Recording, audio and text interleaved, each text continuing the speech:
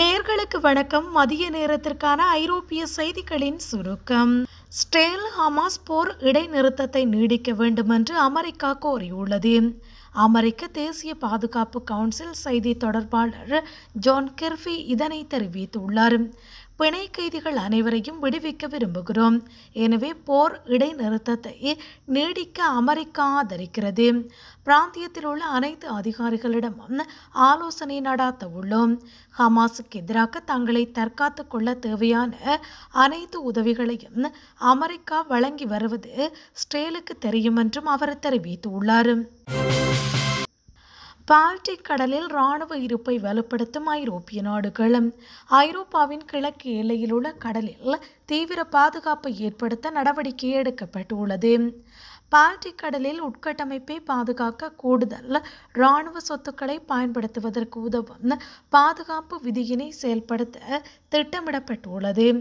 ஐக்கிய ராஜ்யம் தலைமையில் Denmark Estonia Finland Iceland Latvia Lithuania Netherlands Norway மற்றும் ஸ்வீடன் ஆகிய பத்து வடக்கு ஐரோப்பிய நாடுகள் நேற்று முடிவினை செய்தன. வடக்கு கடற்பரப்பில் இடம்பெற்ற பல சம்பவங்களை அடுத்து இந்த நடவடிக்கை எடுக்கப்பட்டுள்ளது. ராணுவ கட்டமைப்பை தீவிரப்படுத்தும் ரஷ்யா புட்டின் அதிரடி உத்தரவு. ரஷ்ய இராணுவ செலவினங்களில் கணிசமான அதிகரிப்புக்கு ஜனாதிபதி விளாடிமிர் புட்டின் அதிகாரப்பூர்வமாக ஒப்புதல் அளித்துள்ளார்.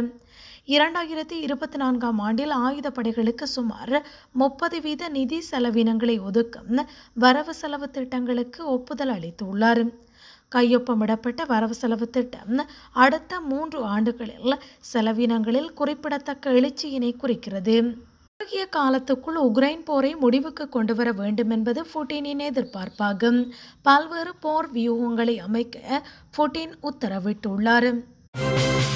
ரஷ்யாவுடனான பின்லாந்தின் எல்லைக்கு துருப்புக்களை அனுப்ப போலந்து திட்டம். ரஷ்யாவுடனான பின்லாந்தின் எல்லைக்கு துருப்புக்களை அனுப்ப போலந்து திட்டமிட்டுள்ளதாக தகவல்கள் வெளியாகியுள்ளது. அத்தகைய நடவடிக்கை பதட்டத்தை தூண்டும் என்றும் ரஷ்யா அதை அச்சுறுத்தலாக பார்க்கும் என்றும் கிரெம்லின் தெரிவித்துள்ளது.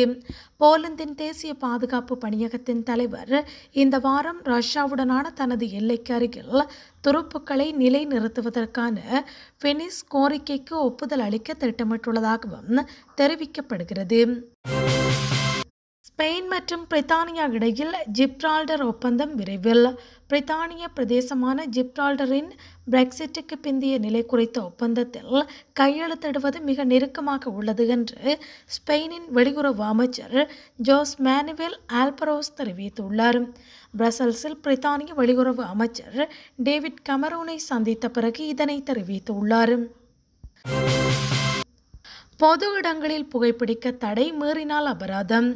பிரான்சில் இரண்டாயிரத்தி இருபத்தி மூன்று தொடக்கம் இரண்டாயிரத்தி இருபத்தேழு வரையான காலகட்டத்துக்கான தேசிய புகைப்பிடித்தலுக்கு எதிரான திட்டங்கள் நேற்று சுகாதார அமைச்சரால் அறிவிக்கப்பட்டுள்ளது. அதன் முதல் கட்டமாக சிகரெட் பெட்டிகளின் விலையினை அதிகரிக்கும் அதேவேளை ஏற்கனவே இருக்கும் பொது இடங்களில் புகைப்பிடிக்க தடை பிரதேசங்களை விரிவுபடுத்த முடிவு செய்யப்பட்டுள்ளது. இனிவரும் காலங்களில் கடற்கரைகள் பூங்காக்கள் பாடசாலைகளின் முற்றங்கள் என பொதுமக்கள் கூடும் இடங்கள் அனைத்தும் புகைப்பிடிக்க தடை விதிக்கப்பட்ட இடங்களாகவும் அறிவிக்கப்பட உள்ளது மீறினால் தண்டனைக்குரிய குற்றமாக அபராதம் விதிக்கப்படவும் உள்ளது. இத்துடன் மதிய நேரத்திற்கான செய்திகள் நிறைவுக்கு வருகிறது. மீண்டும் இரவு நேர செய்திகளோடு இணைந்து கொள்ளுங்கள். வணக்கம்.